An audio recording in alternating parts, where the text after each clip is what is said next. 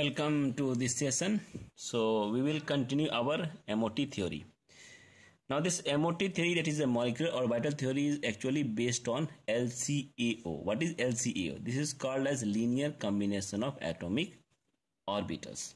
Now why this LCAO uh, model was adopted, adopted to explain the MOT theory. So molecular orbital uh, theory this is obtained by several methods in which LCAO was very easy and convenient way to describe this theory. So if you recall uh, in wave mechanics that atomic orbitals are expressed in terms of psi and this these wave functions are the solution of Schrodinger wave equation. Similarly, uh, Schrodinger wave equations can be solved uh, to predict molecular orbital in terms of wave functions. However, it is not easy to solve Schrodinger wave equation for molecules because of the complex nature of equation complex nature of equation. So it is better to say about the solutions from Schrodinger wave equation that so uh, Schrodinger wave mechanics is a jungle of mathematics. So in view of this uh, and approximate techniques uh, to obtain wave functions for molecular orbitals such as LCAO method has been adopted. So now atomic orbitals undergo linear combination to form same number of molecular orbitals and for this uh, combination they have to fulfill some conditions. What are these conditions? So condition number one uh, the combining atomic orbitals must have same or comparable energy. What does this mean? This means that let's take example of some homonuclear atomic molecule. This A2 is a homonuclear atomic molecules. So this is the A and A. So it has 1s, 2s or you can take 2s and 2p. So 1s and 1s and 1s they will combine. 2s, 2s they will combine. Even if you take 1s, 2s they won't combine. 2s, 2p they won't combine. Why? Because energy difference between them is very high. Energy difference comparable between the homo uh, nuclear atomic molecule. Similarly, if you take heteroatomic uh, heteronuclear atomic molecule at AB. So if you take AB means these are the heteroatomic, these are homoatomic. So they are comparable, comparable energy and in this case 1s plus 2s 2s plus 2p. So here energy difference should not be high, should be comparable. Then they can uh, combine. Otherwise, if you take the big difference, they won't combine. So this should be one uh, conditions for the combination of uh, linear uh, LCAO. That is the for the molecular orbitals. Now second uh, condition was uh, combining atomic orbitals must have proper orientation. Uh, proper orientation means they have same symmetry about the molecular axis. Like uh, 2pz uh, plus 2pz they will combine. So it is not combining with the 2px or 2py. Why? Why they are not combined? Because uh, of their difference in symmetry. Similarly, 2s and 2pz is possible plus not with the 2px or 2py. Means 2s is not mixing with the 2px or 2s is not mixing with the 2py because they have improper orientation. Let us understand through this illustration. So this will give you one clear picture. So this is the 2pz 2pz so you can see they have the one internuclear axis at z axis. So they are combining this overlapping this portion overlapping this 2s pz so this is also hidden overlapping by the same phase of plus sign plus sign. This is called proper orientation but you see in this case 2pz 2px orientation is nil. This is z axis this is the z axis. Along this one this is the except the other axis z axis. This is a 2px this is the p uh, 2py so these are improper orientation. In, in in this case uh, 2s is combining with the 2px or 2py so these three are the improper orientation. So here uh, in these cases the symmetry is not there but in this case symmetry is there now third case is the combining atomic orbitals must overlap linearly for enough and maximum overlapping. So their overlapping should be maximum and it should overlap linearly. Means greater the overlapping, higher will electron density between the nuclei of the molecular orbital. So you have to keep these three conditions in your mind while forming the molecular orbitals. So let us understood LCAO in more detail. So molecular orbital of a molecule, these are obtained by the linear combination of atomic orbitals of the bonded atom. Okay, and the electron waves, is it describing the atomic orbitals? They have two phases, one is positive, one is the negative, or we can say these two phases are actually amplitude. So they have positive amplitude, which is upward, and negative amplitude, which is downward. And this is associated with the standing waves. So when, when these waves are combined, means these orbitals so they may interact either constructively or destructively. I hope that you have studied in physics what is the meaning of constructive and destructive.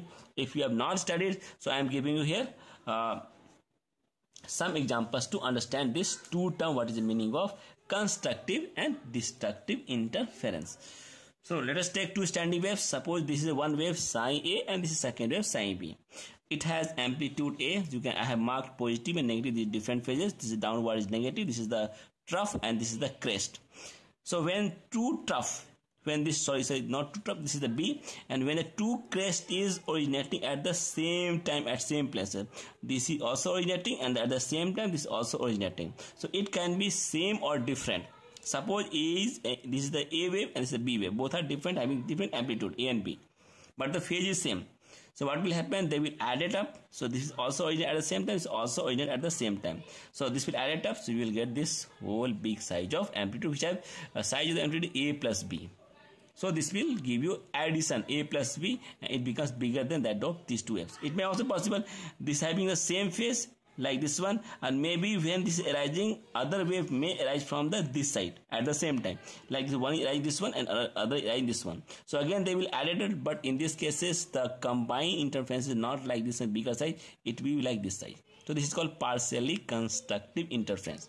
This is the full this is the in both cases it will be added up. Now we will see the second phase. So second means what? When the wave is going this direction okay it is, it is a but in second case it is not going this direction. Second case it is going from this direction. So this means if you remove this one so you can write you can take this one. So when it is going up on this direction same it is going up this direction. Means one is down one is going up one is down.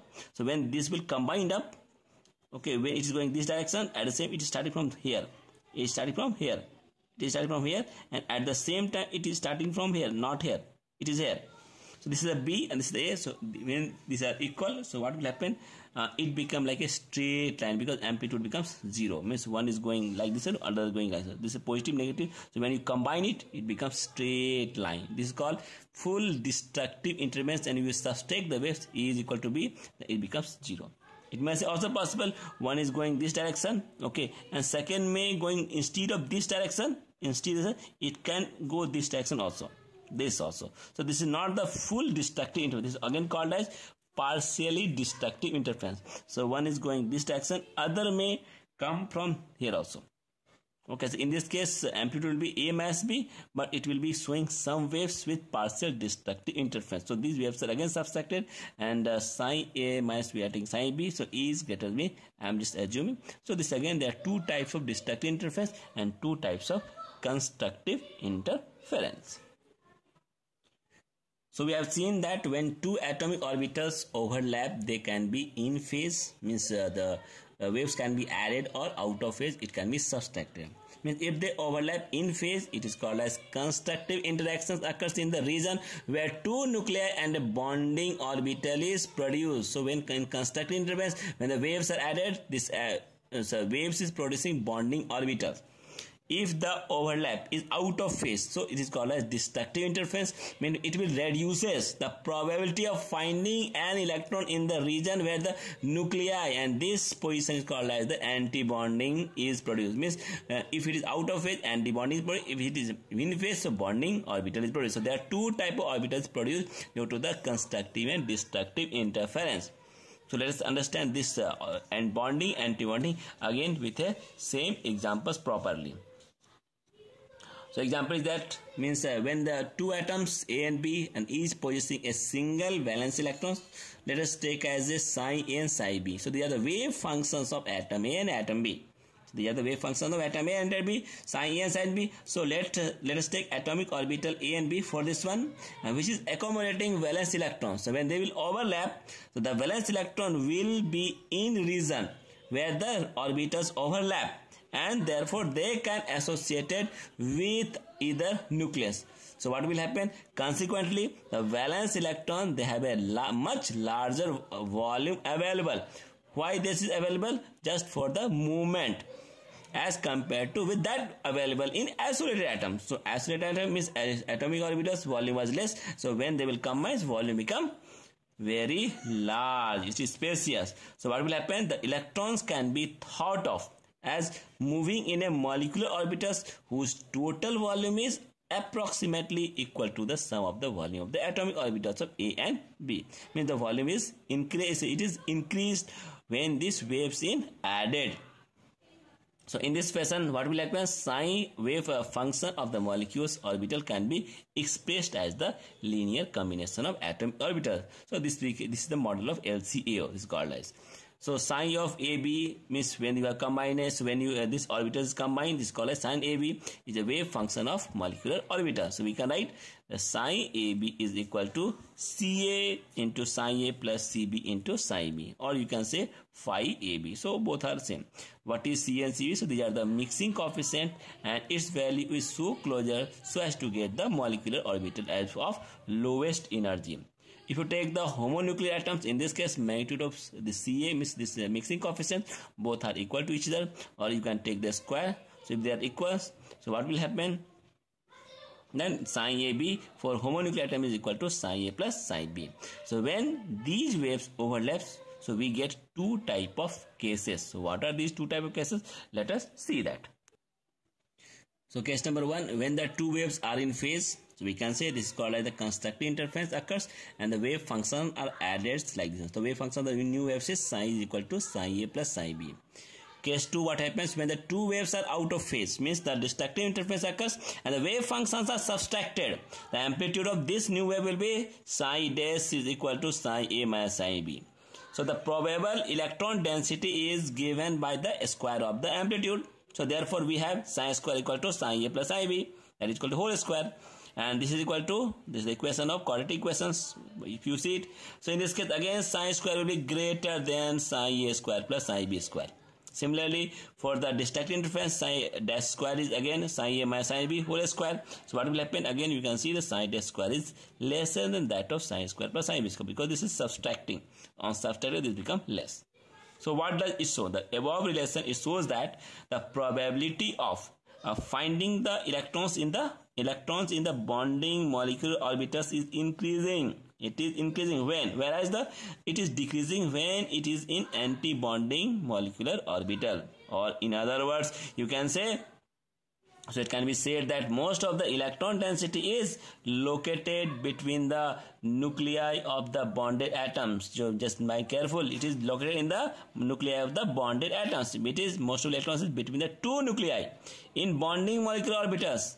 Hence, uh, it is subtracted strongly. Hence, it is interacted. It is interacted strongly by the both nuclei during the case of bonding nuclear orbital whereas in anti-bonding molecular orbitals there is a high repulsion between the nuclei and so as the what happens happens so electron density is away from space. In this case what happens it is away from the space between the nuclei. And in the in fact what will happen between the two nuclei there is a nodal plane in antibonding between the two nuclei of the antibonding molecular orbitals where the electron density is zero. So in antibonding there is a nodal plane but in uh, bonding molecular orbitals electron density is more. So this is the difference between bonding and anti-bonding.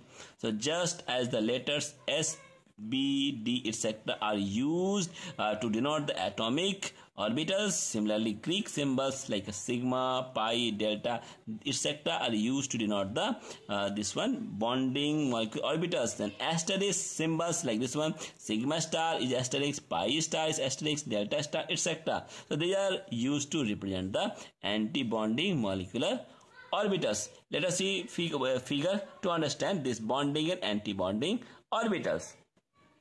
So now you can see this figure bonding orbitals, bonding orbitals having less energy psi equal to psi plus AB and this anti-bonding molecule is psi dash equal to psi A minus psi B. So energy is increasing, this is the psi A and this is psi B. You can see this energy, so if you take this energy, so if you take from this side, so this uh, difference is uh, delta is uh, very less and but the delta is very high. So definitely the anti-bonding having the high energy while the bonding having the less energy from the equilibrium level. Constructive interference of the orbitals between the orbitals uh, lobes they have the same wave functions that is psi. So they are producing molecular orbitals like sigma pi and delta. So these are also called as the HOMO means highest occupied molecular orbital. You can see this is the crest this is the trough this is the plus minus. Okay. So when they are in same phase so they are occupying the maximum. So this is the amplitude a this is the amplitude b. So when they are sum up so amplitude is doubled so this becomes your homo. So this size called as homo. So in that case what happens? So this is the uh, crest and this is the trough. So it is having one crest and one trough. So it is uh, they having the one position called as node so this is called the bonding molecular orbital which having the same phase. So this can be shifted to this position also. So we can say one node is over here also. We can draw the diagram like this also. So this is the partial, this is the full. So I think I, uh, previously I have described the what is the meaning of partial constructive interference, what is the full constructive interference. So if this will interact, two nuclei will interact, so electron density in between is maximum. This is the constructive interactions you can see here. Similarly you can we can see in case of destructive interaction also. So in destructive interaction what happens? You can see so this is the plus this is the minus. So when the plus will arise from here similarly at the same time this will also goes down. So when this will add it up so it will get amplitude becomes zero. So it can also happen with partial interference. So when amplitude is zero so what will happen? You will get this type of uh, waves. This is the highest this is the lowest and we'll get the one nodal plane.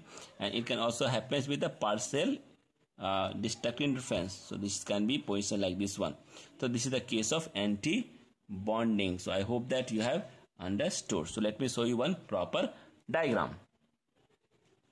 So here we can see your diagrams. So two waves are there two intersecting. You can see this is this is.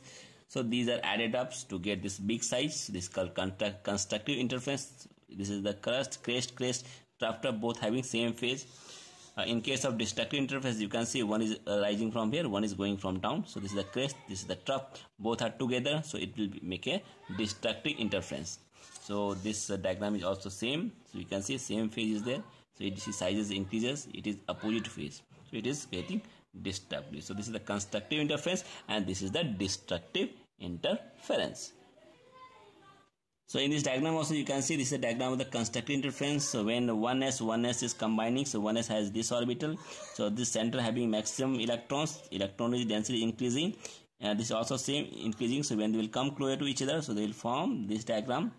So when they will come very very close to each other, so you can see this the diagram. So here electron density is more. So how it is increasing between two 1s. So this becomes your sigma 1s. The bonding probability density increases now you can see in anti-bonding what happens. This is the 1s this is the again 1s so 1s is this diagram and this is negative negative phase. This is downward direction. So when they will come close to each other so this is form sigma star 1s this is called destructive interference. So one is up one is down. So they will form. So this one node is formed. So there is one nodal plane between the 1s and so you can see this lobe is decreasing order plus and minus so this is uh, the waves will be seen like this. So this is called as the wave functions combined for the sigma star 1s. This is the anti-bonding probability density. This is the bonding probability density and this is the anti-bonding probability density. So I hope that you have understood the energy difference between the bonding probability density and anti-bonding probability density. So what are the basic facts related to the HOMO and LUMO? So in, uh, energy wise HOMO is uh, less energy than that of LUMO and uh, wavelength wise again HOMO is more than that of LUMO. So HOMO is the bonding and this is the anti-bonding. So you have to remember LUMO has the nodal planes while the HOMO may or may not have the nodal planes. Electron contribute force of attraction in HOMO is more, uh, while in there is contribute repulsion in LUMO. This is the anti-bonding, this is the bonding. And shape of the molecular orbitals in this form, it depends upon the shape of the atomic orbital uh, from which they are formed. So these are the some minute differences.